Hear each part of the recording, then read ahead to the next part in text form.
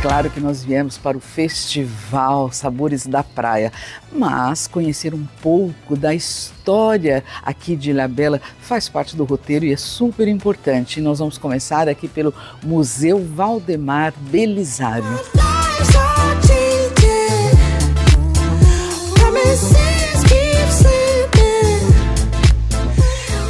Importância ela é fundamental para a gente poder entender a história e a cultura do, do, nosso município, do Brasil, porque a ilha foi descoberta em 1502, então aqui a gente consegue falar sobre o ciclo da cana-de-açúcar, os naufrágios que aconteciam, os ataques de piratas, e tem muitas lendas que envolvem isso aqui na ilha.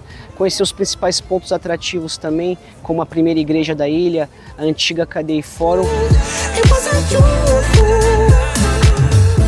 Bela tem praias muito lindas, cachoeiras também, mas tem uma história e uma cultura muito rica. E não é somente em dias de chuva, mas é uma oportunidade também para quando acontece isso, né, de você poder conhecer e não ficar também só trancado dentro do, do, do hotel. Né? Pessoal de São Paulo, do interior de São Paulo, venham visitar aqui a Ilha Bela. Eu tenho certeza que vocês vão se apaixonar. Aqui é um lugar muito rico de história, de cultura, assim como das praias, das suas cachoeiras.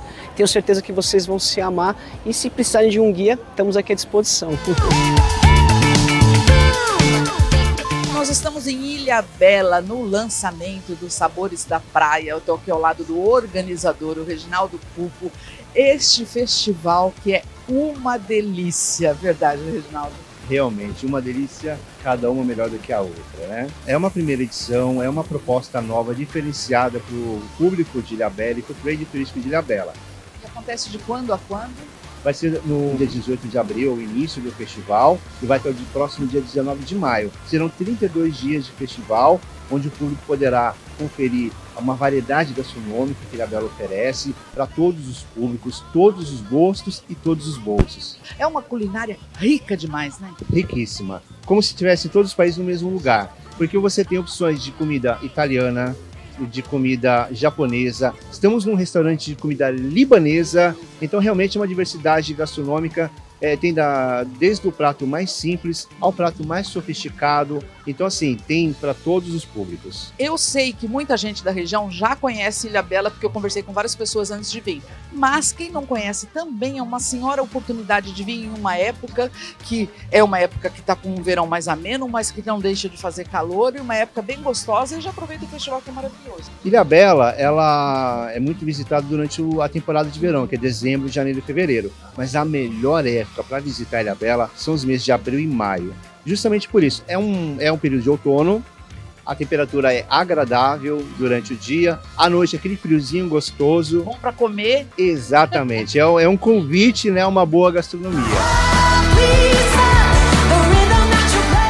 Nesse lançamento aqui dos Sabores da Praia, eu tô com o presidente do convento, o Márcio Franco, que é quem está apoiando a ideia, porque é necessário fomentar, né? Exatamente. Ilha Bela ela é muito linda e muito bem estruturada, né? Então a gente recebe muita gente na temporada de verão. E o movimento que o Convention tem feito é justamente aproveitar agora a temporada de inverno para alavancar o turismo e movimentar a economia. Então, infraestrutura a gente tem, tanto é que vem muita gente no verão. E agora um dos exemplos do que a gente tem feito é esse festival gastronômico. Né? Então a gente quer movimentar a cidade também com a gastronomia que a gente tem, que é incrível, os restaurantes da.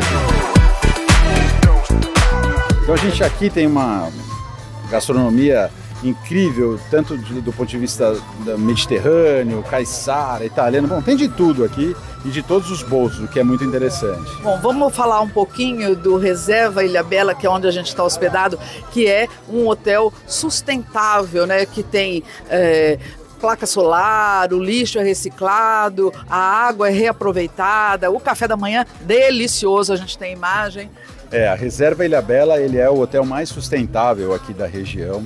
A gente tem mais de 50 itens de produção de energia, utilização de água, são mais de 50 itens. A gente é o único hotel que é carbono neutro do litoral, do litoral norte de São Paulo e é um, um hotel é, que é todo automatizado também. Ele é um smart hotel, né? Então ele é uma linguagem um pouco diferente de pousadas e hotéis convencionais, onde o hóspede pode ter toda a experiência, todo com contactless. Se ele não quiser ele ter contato com ninguém, ele não precisa. Ele pega, faz a reserva, recebe a senha, entra no quarto, vai embora, não fala com ninguém. Agora, se ele quiser Tem o restaurante, ele vai tomar um café da manhã totalmente saudável, tem aula de yoga todo dia. Ou seja, a gente quer realmente que a experiência do nosso hóspede seja incrível aqui na Ilha Bela.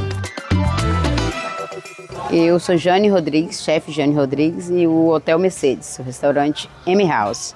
O peixe grelhado é uma pescada amarela com mix de legumes, que é couve-flor, abobrinha, tomatinho cereja, cebola puxadinha no azeite e tem uma vinagrete de gengibre. Ah, eu acho que ele é o carro-chefe aqui do, do restaurante M House. Muito pedido, todo mundo que come é uma surpresa, eles adoram esse prato e foi meu motivo de escolher.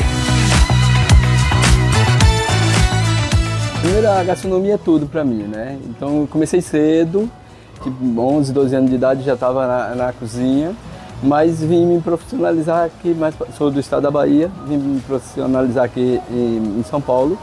Fiz um CCI em Água de São Pedro e depois voltei para estagiar na Bahia em alguns lugares, mandado pelo, pelo a escola. Fui para a Europa, trabalhei em alguns lugares muito bons, na região mais da, da Provence, com alguns chefes bem, chefes, alguns Michelin. E resolvi voltar para o Brasil e agora a gente montou alguns negócios, por isso não viajei mais. Mas sempre que tem oportunidade, vou. Acabei de chegar de Portugal agora num festival de gastronomia também, representando o estado de São Paulo. E foi, assim, maravilha. Então, a gente já trabalha com, com a cara de Ilhabela já, né?